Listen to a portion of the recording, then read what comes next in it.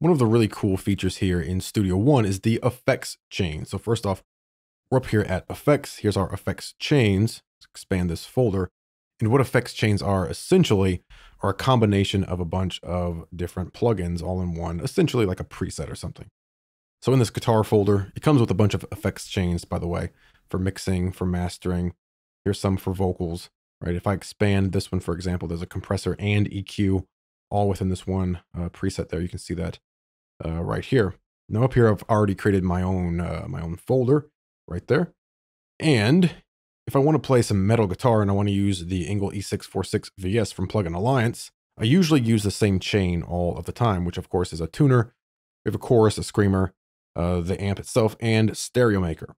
And of course, to set all of those up every single time, it's going to take a little bit. But with our effects chain, I'll just grab it, throw it right in to Studio One here, and there it is.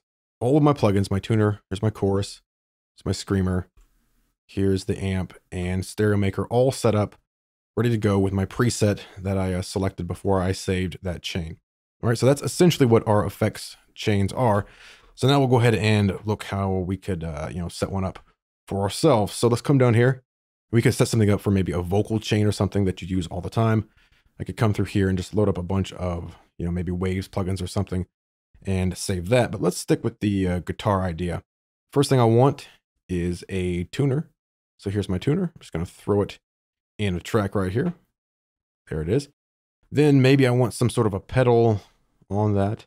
Let's say the green screamer. I'm going to throw it right up here, right next to it. There that is. And of course, move these around however we want. Then let's say I'm going to grab, let's grab this other Engl right here. Just throw that right in there. And then maybe I want stereo maker on this too, which is right here. Throw that into the chain. And there we go. Now at this point, you would go through and set things up however you want. So this I would want bypass by default. This here I'd go through and of course set up all of my different parameters. So it's ready to go. Same thing for stereo maker, set everything up. So to recall this, whenever uh, whenever I want. All you have to do is come right here and come down here to store effects chain, give it a name. So you can call it whatever you want. You can give it a description, whatever you want, metal, you know, four plugins, uh, whatever, uh, whatever you want. And you can put it into a subfolder or create a new folder here. Just call it new folder, something like that. But I want this in my folder right there drums right there and choose OK. And that's all there is to it. So the next time you want to load up your uh, effect chain that you just made, come to the folder where you saved it. It's right here. Of course, drag it right in. And there you go. You have all of your different plugins ready to go. And you can go ahead and start recording.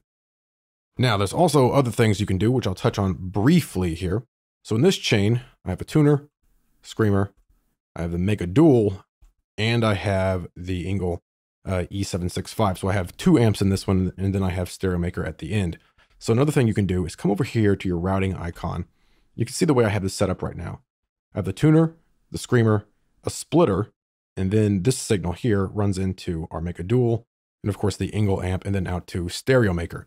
Now, of course, I'd need to set it up like this if I wanted to use, you know, two different amps at the same time within one, you know, within one track, it would need to be set up like this because if it wasn't, remove that, it would be the dry guitar sound going through the tuner, then going through the green screamer, and then that sound would be going into the Mega Dual, which is an amp, and then that amped sound would be going into our other amp, which of course is going to sound horrible, and then that would go into Stereo Maker. So you can use your splitter, for example, just throw that in there, and I'll just grab our Mega Dual, put it to one side, grab this, put it to the other side, and there you go. You essentially have a two amp setup real quick here in Studio One, and you can of course save this and recall it whenever you want. There's a bunch of other things you can do within here, turning things on and off. You can even adjust your parameters from within this uh, list right here. We could also add more plugins in here if we wanted to directly within this list here. So if I wanted a compressor, I could throw that in there, as you can see put it wherever you want in the chain, add another splitter, whatever you want to do. And lastly, let's touch on this as well. Let's come here to our macro controls, just this knob right there that says macro controls. Now, right now I have one knob assigned to overdrive and let me actually pull up our overdrive here so you can actually see that. Boom, boom. Pretty cool, right?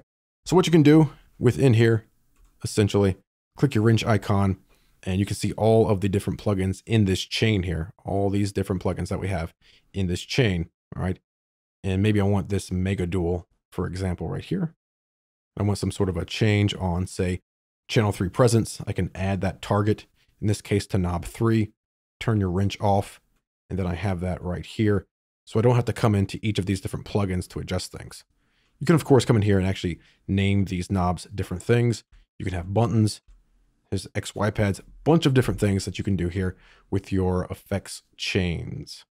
And lastly, you can do something similar with instruments by creating multi-instruments that gets a little bit more in depth. Just realize that you can set up multi-instruments as well.